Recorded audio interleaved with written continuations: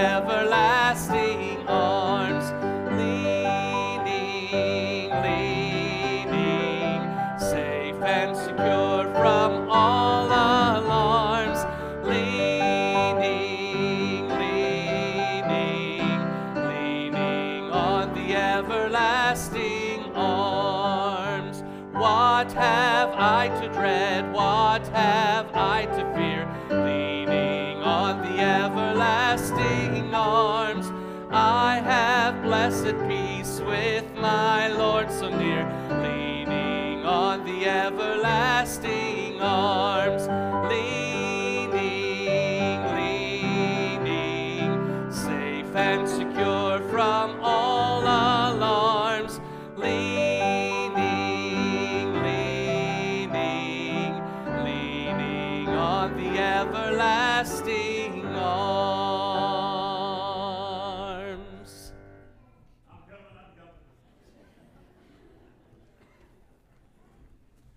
I didn't get done visiting with everybody yet.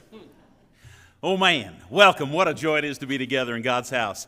Oh, I look forward to uh, Sunday every week. Uh, a great Sunday to see all my friends and uh, see my brothers and sisters in Jesus, and for us to gather around the Word of God and allow the Word of God to speak into our hearts and our lives. Man, oh man, it didn't get any gooder than that, does it? Isn't that the good stuff? That's the good stuff. Thanks be to God. Thanks be to God. Hey, as we gather and worship, uh, we are in a relationship series uh, in in the Word. Last week we looked at uh, what what covenant friendship was like and what uh, what were the strengths of relationships and how God made us relational and how we do that uh, in in our community. And today we're going to talk about family relationships and being family. Listen to what the psalmist says in Psalm 127. Unless the Lord builds a house, those who labor it, build it labor in vain. Unless the Lord watches over the city, the watchman stays awake in vain. It is in vain that you rise up early and go late to rest, eating the bread of anxious toil, for he gives to his beloved sleep. Behold, children are a heritage from the Lord. The fruit of the womb is a reward. Like arrows in the hands of a warrior are the children of one's youth. Blessed is the man who fills his quiver with them. He shall not be put to shame when he speaks with his enemies in the gate. Family is a blessing from God, it's a reward from God. You're blessed of God, and it is God who establishes the family. We're going to talk about that today as we gather around the Word. Let's pray together and commit our morning to Him. God, you're a great God. You are mighty and good in what you do, and Father, we love you. And so, God, as we gather here, Father, we come with hungry hearts. We long to hear your truth. We want to uh, have a holy encounter with you, God. We want you to speak into our lives and reveal your truth to us, that, God, we might conform our life to your word. This world is trying to fit us into its mold, but God, we want to fit into the mold of your truth. For, Father, in your way is fullness of life. And God, we long for fullness of life. Father, give us ears that are attentive, give us hearts that are tender, and Father, uh, give us feet that are faithful and obedient to you.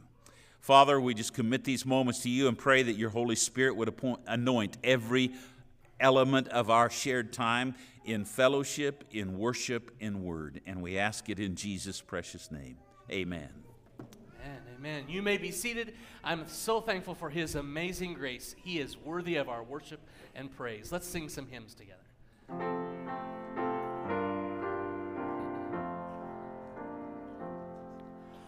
Worthy of worship, worthy of praise, worthy of honor and glory, worthy of all the glad songs we can sing, worthy of all of the offerings we bring. You are worthy.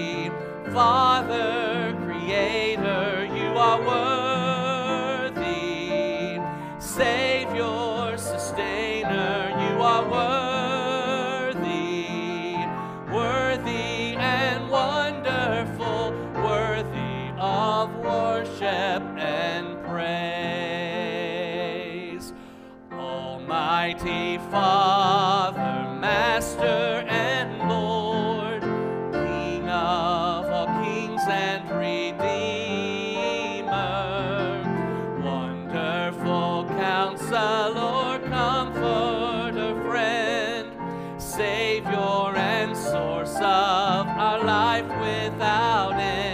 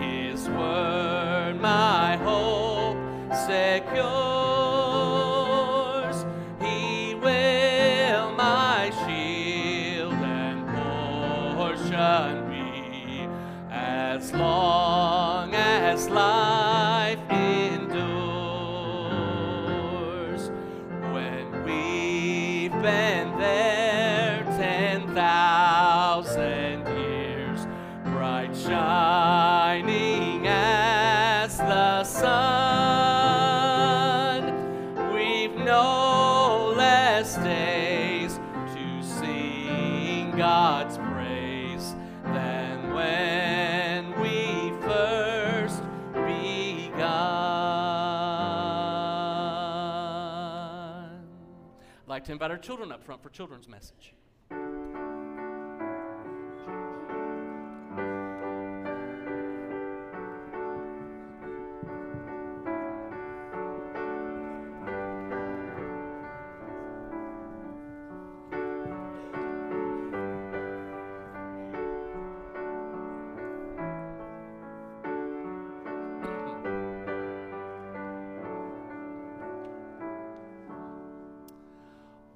Good morning, guys. I'm glad to see you. The- Pastor Paul told me that we were going to talk about what it means to be a family and, and the importance that God puts on the family. And so, as a family of God, um, we come and gather and, and support one another and encourage one another because we all have different families. So, I thought, well, let's look at the perfect family. Let's find the perfect family. God surely has a perfect family in His Word. So, I started looking in His Word to find the perfect family. Children's sermon over. You guys can go back to your seats. Oh, no, no, no, no. But that's what happened. There is no perfect family.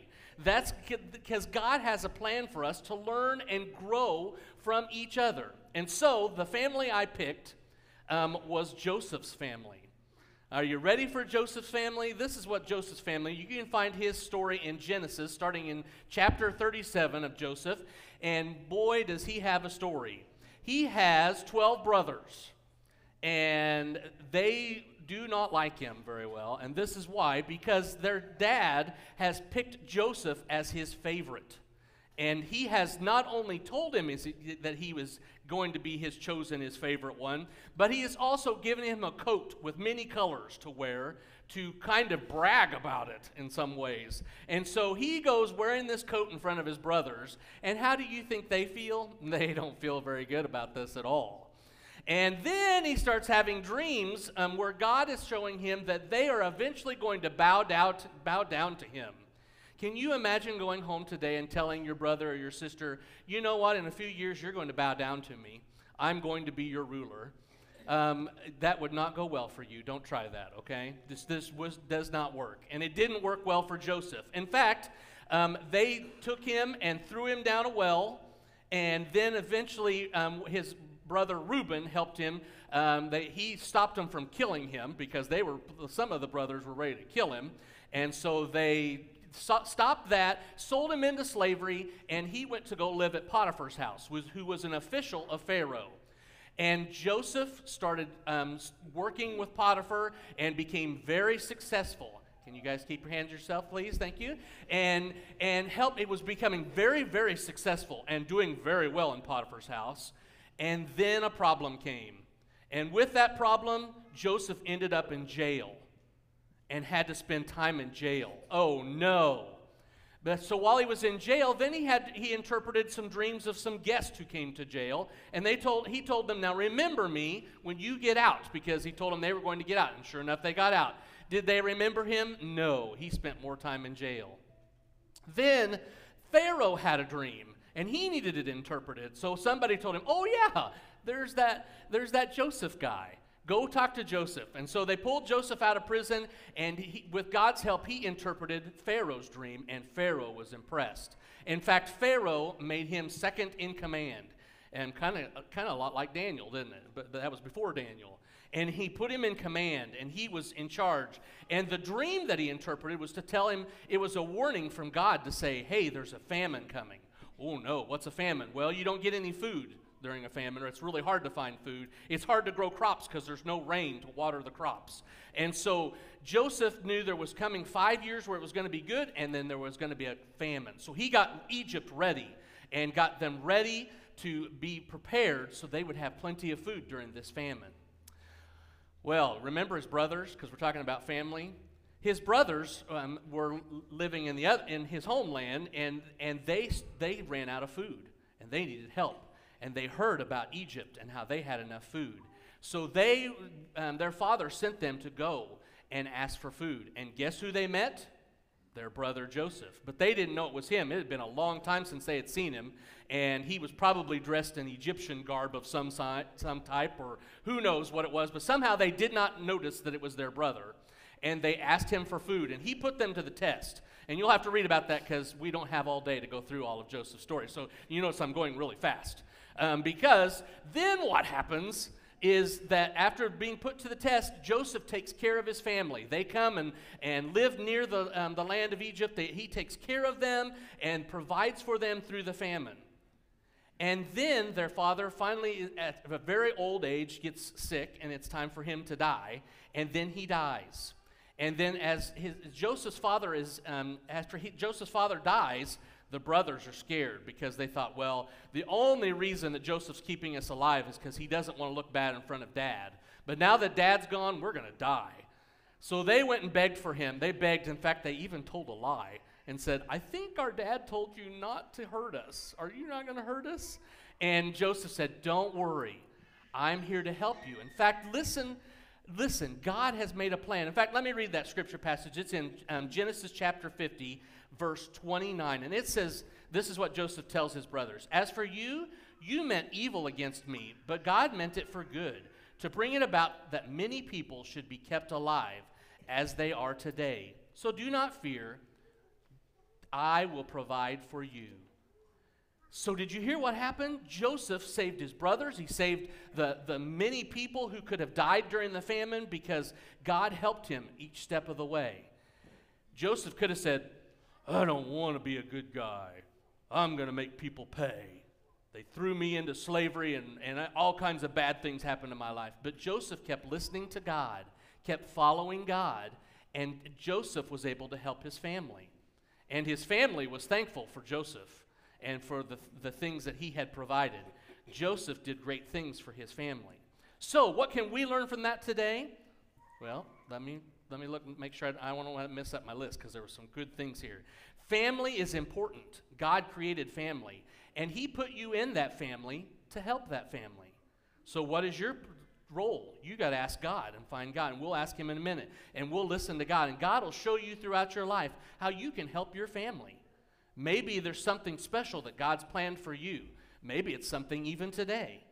God has family, and He knows that it isn't easy to live in family, but it helps us to learn how to live together. Man, sometimes it's not easy to live with people. Do you know that parents get annoying? They tell us what to do, and they and they're always bossy.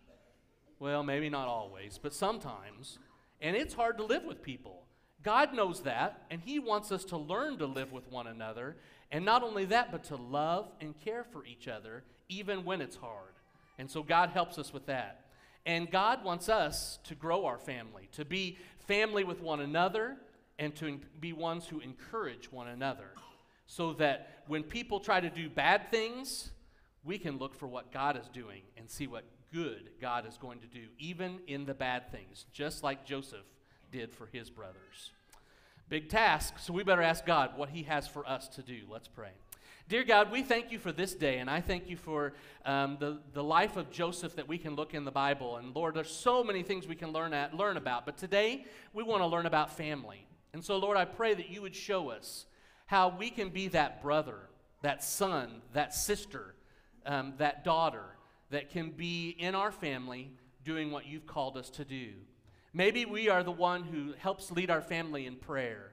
Maybe we are the boy or girl that, that helps tell others about Jesus. Maybe we do all of these things. God, you may have great, and you, I know you have great and amazing things for us to do in our families. And then remind us we are also part of a church family. Help us to love each other and to care for others. There may be somebody who's here that's very lonely that needs your, needs your love. Help us to express it this day.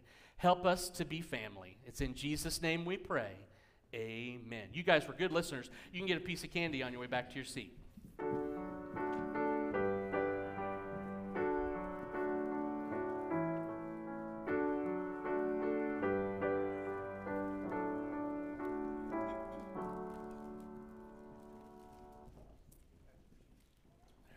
God is amazing. I'm so thankful for the family that He puts together. Let's continue to celebrate Him. Let's stand and sing, Hallelujah, your love is amazing.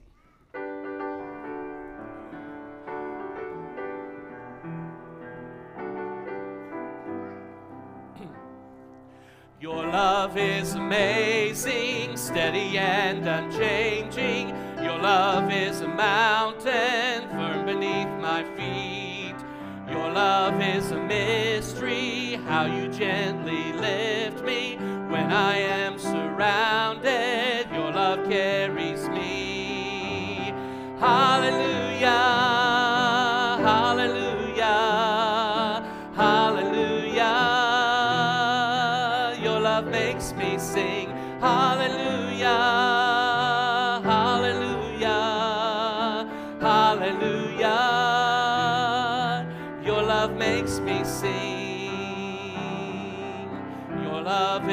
surprising. I can feel it rising, all the joy that's growing deep inside of me.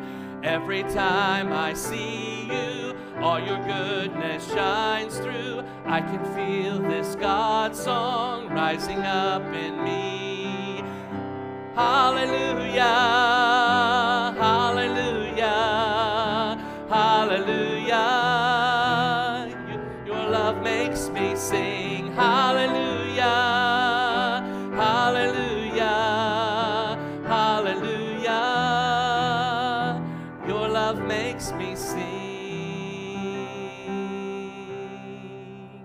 is amazing. You may be seated.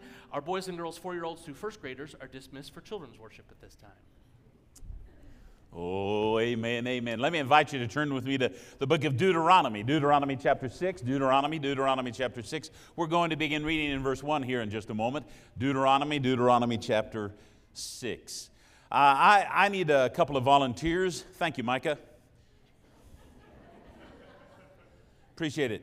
Hey, Keelan, are you volunteering for me, brother? Thank you, man. I appreciate that. Come on down here. Come on, come on over here. Uh, I, I, want uh, you two to do something for me, if you would. Be so kind. Uh, as uh, they come, they're gonna uh, they're gonna do something, and I apologize. Over here, you're not gonna be able to see quite as well, but you'll kind of figure out as we go just exactly what's going on. If you'll come over here to the whiteboard, I'm I'm gonna ask Keelan. I'm gonna ask you if you would be so kind uh, to to draw 35 circles and Micah, I want you to draw, just a minute, I, I, I, got the number here, just a second. I need you to draw 32,850 circles. And when you're done, I want you to return to your seats, okay? Okay, so we're going to let them do that while we move forward and move on in, uh, in the message. Uh, I want us to talk a little bit about family, and I want us to talk about fam, uh, fam, familial relationships and how God, uh, the kind of family God honors. And we're going to come back to that in a moment. Don't, don't let that distract you. We're going to talk about a little bit about family. God is relational. We call him Father. God is relational. He established family. God is a God of heritage.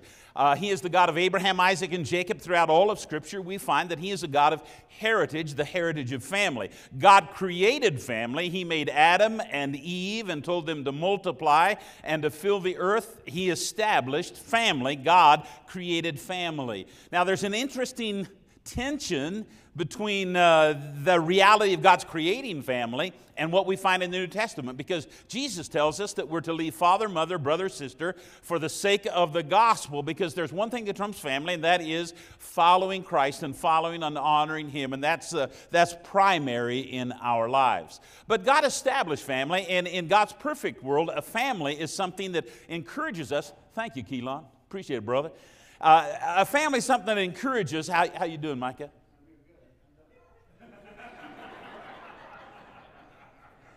You're not done. You're not done. Stay the course. All right, so 32,850 in case you forgot. Okay? So so we're going to come back to that here in a moment, but God created family and I'm thankful for a, a, godly heritage. God's plan was that our families would be so so precious, so tight, so dear and so encouraging to us that it would further and nurture our walk with God. I am a in, incredibly appreciative. I'm incredibly thankful for the family that I grew up in. I grew up in a family, and, and, uh, and, and, I apologize, but I'm going to tell you frankly some things about my family. Can I do that? Thank you. So, when I was a child, when I was a kid, common practice in my household was if my mom got too close to my dad, he would slap her on the bottom and wrestle her in the recliner and they would kiss.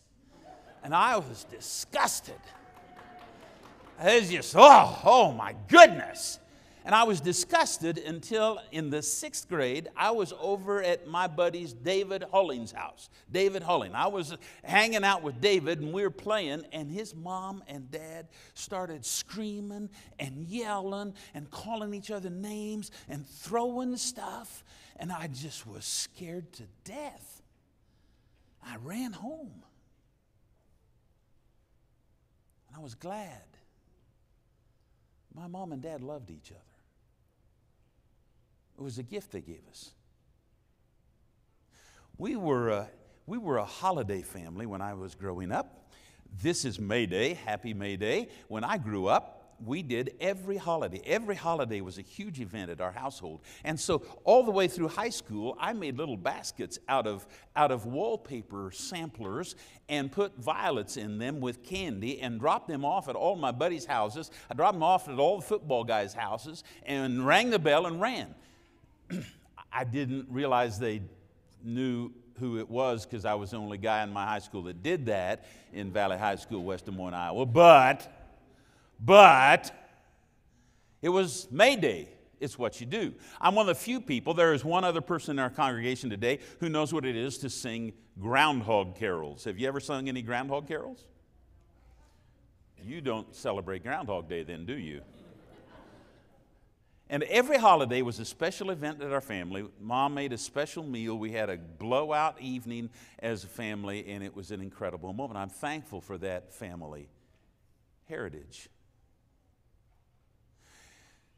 Often in the evenings, my dad would gather us all together and we'd be in the, in the living room, and my dad would sit on the couch and he'd read out the Word of God to us. Read the Word of God to us. And then I'd watch my dad get down on his knee in front of the couch and he'd pray. And I heard him call my name to the Father. He'd pray over me.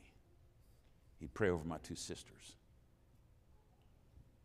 Man, I'm thankful for the heritage I have. I'm thankful for the, the family that invested in my life. I'm grieved and sorrowed that everyone can't experience that, and I know many of us in our fellowship here have experienced abuse, neglect, and rejection in our families. And that must stop today. For we will build a heritage of faithfulness. Here in the book of Deuteronomy, in the book of Deuteronomy, there's a recounting or retelling of the law. It's called the second law. Uh, in Exodus 20, we have the Ten Commandments. You see it again in De- Deuteronomy chapter 5. It, it, it's the second command, it's the, the second telling of the truths of God. It is full of solemn warnings and recounting of the history and the principal laws of God. It, this text we're going to read today speaks to us of what it means to be family. It talks to us about how we are generational in investing the truth and the wonder of God. He is speaking to a group of people who have grown up in the wilderness, and so they don't remember all of those things that happened in Egypt. They don't remember the miracles of Egypt. And so Moses is telling them, you've got to tell and tell and retell and continue to tell the reality of the story so we remain focused. I read this week that the average child laughs 400 times a day, and the average adult laughs 15 times a day. What has happened where we lose the wonder of life? I think it's because we're disintegrating as family and we've got to welcome the wonder. Here in our text, we receive counsel for such. So, Deuteronomy, I'm sorry, I turned somewhere else in my scripture. Deuteronomy chapter 6, follow along with me in verse 1. It says, Now this is the commandment, the statutes, and the rules that the Lord your God commanded me to teach you that you may do them in the land to which you are going over to possess it. That you may fear the Lord your God, you and your son and your son's sons, by keeping all his statutes and his commandments, which I command you, all the days of your life, and that your days may be long. Hear therefore, O Israel, and be careful to do them, that it may go well with you, and that you may multiply greatly, as the Lord, the God of your fathers, has promised you in a land flowing with milk and honey. Hear, O Israel, the Lord our God, the Lord is one. You shall love the Lord your God with all your heart, with all your soul, with all your might. And these words that I command you today shall be in your heart. You shall teach them diligently to your children, and shall talk of them when you sit in your house, and when you walk by the way, and when you lie down, and when you rise. You shall bind them as a sign on your hand, and they shall be as frontlets between your eyes. You shall write them on the doorposts of your house and on your gates. Here in this text of Scripture, as he is addressing how we conduct ourselves in our houses, in our household, he tells us, first of all, pay attention. You got to hear, you got to do, and you got to remember. You got to hear, you got to do, and you remember. First, he says you've got to hear. You doing okay, Micah? Good, good, good, good. You got to hear, you got to do, you got to remember. We need to hear the word of God. It's a statement here in verse 1. He says, I'm going to tell you the statutes and rules that God has commanded us. Verse 2, he says, We are to fear God. Verse 3, he says, The command is to, to hear, hear that it may go well with you. Hear that it may go well with you, and hear that you may multiply greatly. You've got to hear. Hear, O Israel, is in verse 4. Hear, O Israel. Hear, O Israel. It's a call of challenge to perceive what is to follow. Hear, O Israel, the Lord our God, the Lord is one. Hear, O Israel. There is no significant instruction, no benefit comes apart from our hearing truth. You've got to hear truth so you can receive truth and you can practice truth. It's a significant call we hear over and over in Scripture. Before he begins the formal telling of the law in chapter 4, he says, Hear. In chapter 5, when he gives the Ten Commandments, he says, Hear and he gives the Ten Commandments. Here he gives the Shema, the Lord our God, the Lord is one. He says, Hear. This is the most significant prayer of the Jews. Hear, O Israel, the Lord our God, the Lord is one. You shall love the Lord your God with all your heart, with all your soul, and with all your might. That was recited by the Jews every day. Hear.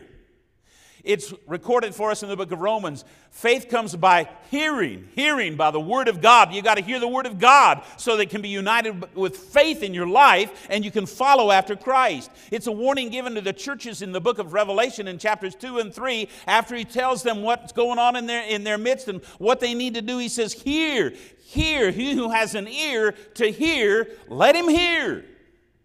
Now, if we're going to grow, we got to first we got to hear. You got to hear the truth. You got to hear the, from God. We've got to hear. But then not only do we have to hear, but then we have to do. We have to do the word.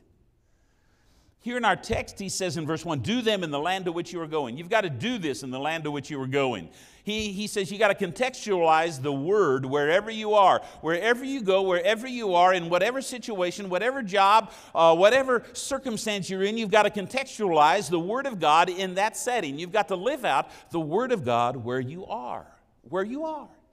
He says in verse 2 that you may keep it. Verse 3 hear and be careful to do.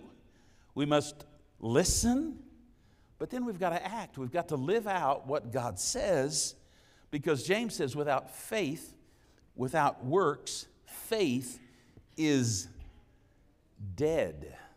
Now, God gives us His commands for our own benefit, that we may live long and that may, we may find the life that He intended. That we may live long and find the life that He intended. So we've got to hear, and then we've got to do, and it's urgent that we remember these words I command you, he says, are to be on your heart. They are to be meditated on, reflected on, ruminated on. We've got to remember. We've got to be, have them on our heart. We've got to continually uh, allow them to, to percolate through our lives. He says, You shall teach them to your children diligently. They are to be talked about often in, the, in, in your household, in your life, in your daily converse, that you need to talk about them diligently to your children. We're to talk about them when we sit in our house, when we walk, when we lie down, when we rise up. You shall bind them, he says, before your eyes and write them on the gates and the posts of your house.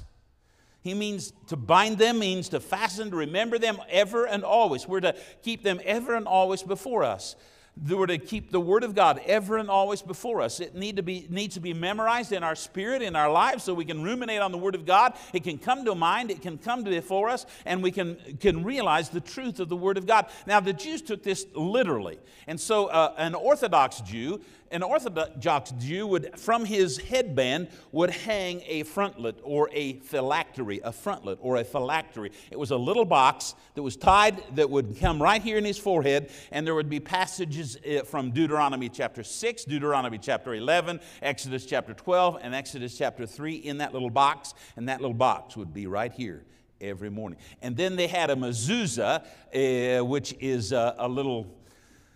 Um, it's a small container or a, a, a little post with a, a, container in it that was on the doorpost of their home.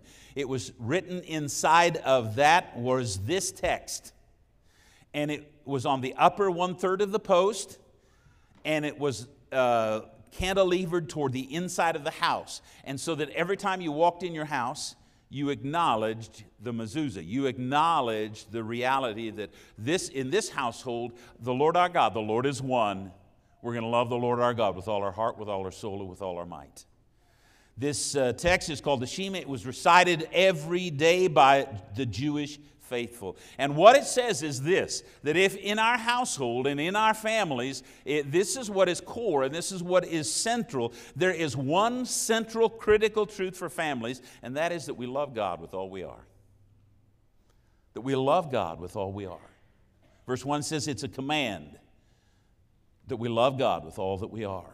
The Lord is one, he says here. He is one God who expresses himself in three persons. Uh, let me just, uh, uh, as an aside, say that there are many false teachers who arise who try to deny the Trinity. Here we see the Lord our God is one, but he expresses himself in three persons. Uh, what he's saying, he is one in every and all circumstances. He is the foundation, he is the wellspring of wisdom, the trumpet of truth, the pinnacle of perception, and he contains the entirety of knowledge. He is one. He is writing to a people who are going to be tempted to follow their neighborhood gods, the gods of Marduk, Baal, and Chemosh. And just like they were enticed to follow Marduk, Baal, and Chemosh, we are enticed to follow the gods of our world money, recognition, tolerance, and we are invited and enticed to follow some God other than the one true God. He is to our singular love. We're to love God with all that we are. We're to love God. We're to relate to Him not according to our covenant treaty, but we're to love God. It isn't because they were Jewish and they had a tr- covenant treaty with God. It was because God was their God and they were in relationship with Him and they were to love Him. And that is what we ground and found our household, our families, our lives upon. We're to love Him in a distinct way with all our heart, with all our soul, with all our might. We're to love Him with a sincere love, not in word only, but springing from our heart. We're to love Him with an entire love from our soul, not a hollow love. We're to love Him with a strong love, with all of our might, all of our ardor, all of our fervency. We're to love Him with all of our strength. We are to love Him with a superlative love, with all, with all, with all. We hear it over and over. We're to love Him with all, with all, with all. A.W. Tozer said this We're called to an everlasting preoccupation with God. We are called to an everlasting preoccupation with God. Gary Oliver said it this way in his parenting book. He said, Our primary call as, uh, as parents, our primary call isn't to be good parents. Our primary call is to model a vibrant and vital love relationship with the living God. And parents, if you, if you model a vibrant and, a, and, and, and vital love relationship with the living God, that's the best gift you can give your children, and that's the healthiest your family can ever be. Here in our text, he says we're to teach that kind of singular love in our household. We're to teach these words to our children. How you doing, Micah? You're to need both services? Okay. Hey, brother, I believe in you. Stay the course. Stay the course. Okay, I'm coming back to you in a minute here. We're to teach that kind of singular love to our children. We're to continually invest in them the truths. 1% of a child's life is, is spent, 1% of the child's life, if, they're, if they never miss a Sunday, 1% of a child's life is spent in Sunday school. We get children 1% of the time to invest in their lives as a church. 1%. 7% of a child's life is spent in public schools. 92% of a child's life is spent in your home. 92%. And if, if you're going to invest in there, if we're teaching them, and what is it that we're teaching them? This is what's critical. We, the, we teach our children a singular love of God, a unique and profound love of God. We are to, instructed to build a foundation of godliness in our home. He says we're to teach diligently everywhere. When we, when we sit down, when we rise up, we're just continually to be pointing them to a relationship with God. It needs to be consistent, and we need to be always alert and focused on the task and investing on our children. Now, some of you will have no clue who George Brett is, but George Brett, let me tell you, George Brett was a third baseman for the Kansas City Royals of some notoriety. Okay, I know before your time, George Brett. Okay, George Brett on, uh, on a stellar day. He had four, uh, four hit day. On his fourth hit, he, he surpassed uh, uh, an incredible milestone in major leagues, and that was his 3,000th hit. 3,000th hit. Only 18 other major leaguers had done that in the history of, of ball at that time in, uh, in George Brett's experience. And so he's on first base talking to the first baseman about 3,000 hits and enjoying the day. And do you know what happened next? Some of you know what happened next. Do you know what happened next?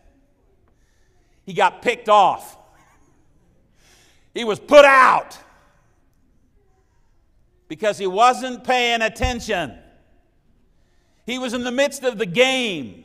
He was trying to help the team. But he was basking in the moment and he wasn't paying attention. And it's hard to stay focused at all times.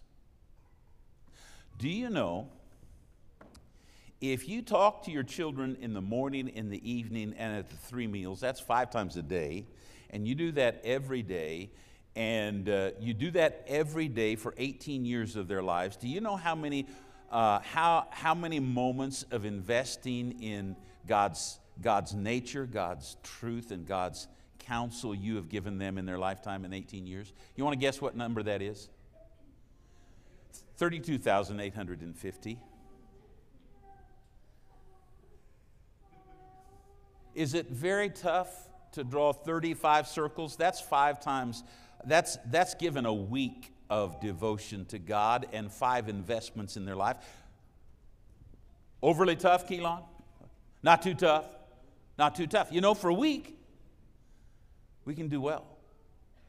But oh my goodness, to consistently and sincerely and with focus invest? How many, how many did you get so far, Micah? Thank you, brother. You can go sit with your bride. You can go sit with your bride. Thank you. Hey, brother. Thanks for helping me, man. Keelan, thanks for helping me, bro. Man, it's not easy or simple to consistently teach and invest and stay focused on the truths of God in our homes. It's just critical. It's just life and death. It's just formative. We're to do that diligently. We're to do that intentionally. Verse 7 says, we're to teach our children. And the word, the Hebrew word here for teach, is a word that literally could be translated sharpen. We're to sharpen our children, meaning that we're to put a razor edge in their life about how they relate to this world and how they know what to do. We're to teach our children. We're to teach them relationally. We're to, we're to teach those that God has blessed into our lives and, and, and we're to welcome them into our lives. God, God didn't make a mistake when He gave you the children He gave you. I, I understand sometimes you think, oh my goodness, but I don't know. do you remember, those of you who are married, do you remember when you got married? Did God use your spouse as a, an instructive truth in your life and in your world? Yes. And you got adjusted and got around that, and then what happened? Kids came. And you know what? I am astounded if you have more than one kid. I am astounded that you can put together the same DNA and those kids come out and they are night and day different. You just think, what in the world? Where did this one come from? straight from God, straight into your life to teach you, for you to teach them. God purposed this relationship. We're to teach ingeniously. We're to capture every moment. It's supposed to be the reality of, hey, while we're walking as we're living, this is how God impacts our world every day. It's just, it's just natural. We, we need to do that. We need to do that purposefully in the day. We need to teach according to the rhythm of our lives. as, as, we, as we walk about just doing life, we're to teach visually. He says in verses 18, keep it before your eyes, keep it before your eyes. Your family, because your family, family, family is precious. Family matters, family is dear. Paris Opera House. Famous singer got laryngitis, and a new performer with great promise had to stand in at the last moment. Everyone had come expecting to see the primo singer, and instead they got the stand in up and comer. And he sang the first song with excellence. And it was met with icy silence in the crowd until from an upper balcony you heard a, an excited little kid's voice Daddy, I think you are wonderful. And applause broke out throughout. Who can measure the treasure that family is? And our faith is something we should communicate in family. It should be the heart of our home. Now, in the scripture, Hezekiah, king of Judah, was visited by the Babylonians, and he showed them all he had. And Isaiah came to him and he said, What have you shown them? And he said, what did they see in your house? What did they see in your house? And he said, I showed them everything. And that's an interesting question. What do we see in our house? And if you've been taking a nap, I want to wake up right now. I want to invite you to wake up because I got six things I think that they need to see in your house. I don't want you to miss those because I think they're significant. Number one, they got to see love there. Love must be there. Proverbs 27, verse 5. You not need to write that one down. You need to commit that to memory. In Proverbs 27, verse 5, the Bible says this Better is open rebuke than love that's concealed. Better is open rebuke than love that is concealed. If you love people and you walk with them in a love relationship and you're just kind of not comfortable with expressing emotion and not comfortable with sharing hard, and so you don't say anything. The Word of God says it's better that you walk up to the person you love and slap them. Give them some open rebuke. Slap them upside the face. That's better than burying the love that you have for them. That's not what Pastor Paul said, that's what the Word of God says, guys. So let me encourage you in your household, let there be open, clear, expressive love. Jesus loved us profoundly. There was no mistake in it. There needs to be no mistake in it in your household. Speak it often, speak it sincerely, speak it from your soul. Love openly. Love must be there. Number two, God made individuals and He placed individuals into your household. Make sure you make space for individuals. Your children are not little clones of who you are. Every once in a while, just to spite you, God gives you a clone of who you are, and it will irritate the fire out of you. But your children, your children are fearfully and wonderfully made. God wove them together while they were in their mother's womb, and He numbered their days before there was one of them. He has a purpose and a plan on each of their lives. That's Psalm 139. You got to live with Psalm 139. And so, in your household, in your household, make place for the unique the individuality of your child and draw out from that child what God has placed within that child because every child has a sweet spot in their life. Every child has that area, that realm in life that works for them, that animates them, that empowers them, that fires them. And let that be. Let it be when our boys were young, one of the things we continually did is we prayed, God, God, help us to recognize, help us to see that one thing, help us to see that one thing that fires them, that one thing that energizes them, that one thing that encourages them. When, when Josh was younger, he loved playing trumpet. He loved playing trumpet. And so, so as a middle schooler, we had a high schooler who was so gracious, and then college student who was so gracious. Uh, Chris Weddle was willing to give our son trumpet lessons. Man, oh man, that until you have a junior high kid, you don't know what a miracle that is, okay? junior high children, my wife just continually told me, Paul, just remember, you're not good with junior high kids. Just remember. That was my caution to smile and walk away many times, okay? And that young man poured into our son, and I, and, and I was so thankful for that. I, I was so frustrated when a, a band instructor decided, we got to have a throwdown. You can't do football and do band. And I thought, are you brain damaged? What are you saying? What are you saying? Find that one thing. What is it? What is it? Don't force them into what is your one thing. What is it? And let them flourish there. Let them blossom and grow there. It's what God created them to be and do. It's your job to help identify that in their lives. You've got to help them identify that which God wove into their, into their life so that they can use that in furthering the kingdom. And if it's sports, then support them all that you are. If it's, if it's, if it's instrumental music, then support them all that you are. If it's whatever it is. What, is, what animates that child? You've got to discover that, number three. Rules and boundaries are understood in families. Rules and bounds, rules and boundaries are found there. What, what do they find? What they find in your house? They found rules and boundaries there. The Bible says, "Spare the rod, spoil the child." Foolishness. The Bible says, foolishness in the book of Proverbs. Foolishness is bound up in the heart of a child. The rod of discipline removes it far from him.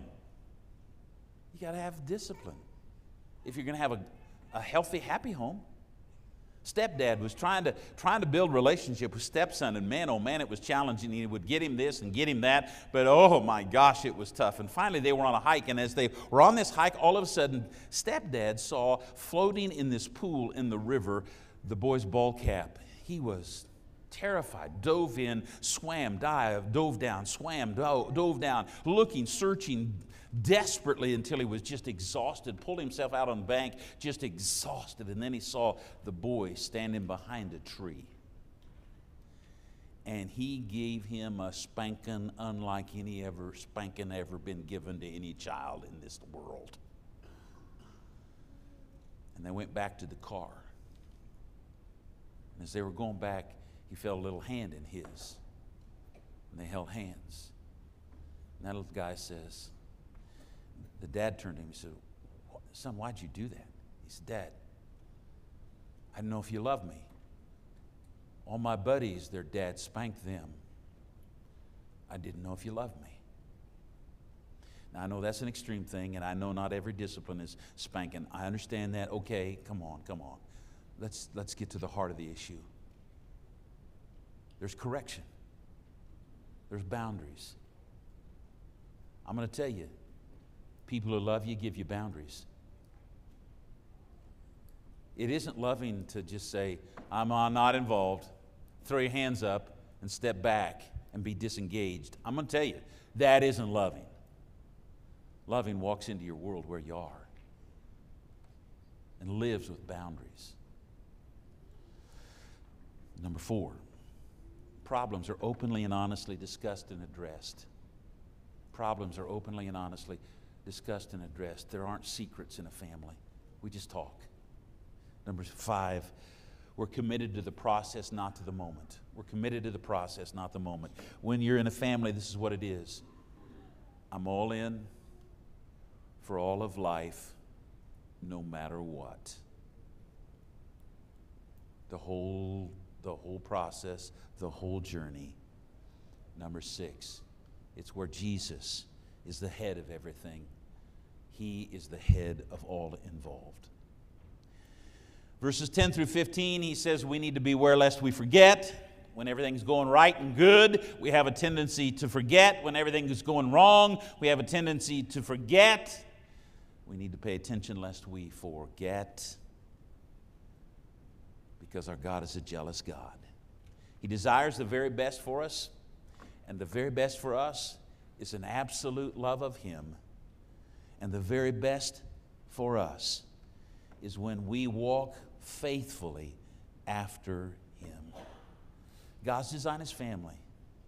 It makes life best. This week, uh, I was digging through some stuff and throwing away some things. I was digging through some old files, and, and refiling some things, keeping the things I wanted to keep and uh, uh, disappearing some things. And I ran across a note that I'd scratched down of something one of our preschoolers had said. Her name was Valissa Downing. It had happened about 25 or 30 years ago now, but Valissa had, written, had spoken, and I wrote this down. She had spoken to her mommy, Jolene, and she said, Mommy, thank you for bringing me into this world. I sure am having fun so far. That's what family's about finding the will of God, delighting in the will of God, and experiencing the wonder. God created family. I wish every family was perfect. Thanks, Brian. There's not one in Scripture. Yours won't be either. But the great challenge is just to continually pursue and continually refine and continually walk after his heart. And it will make all of us more and more in the image of the living God. Our musicians are going to come. We're going to sing our hymn of decision.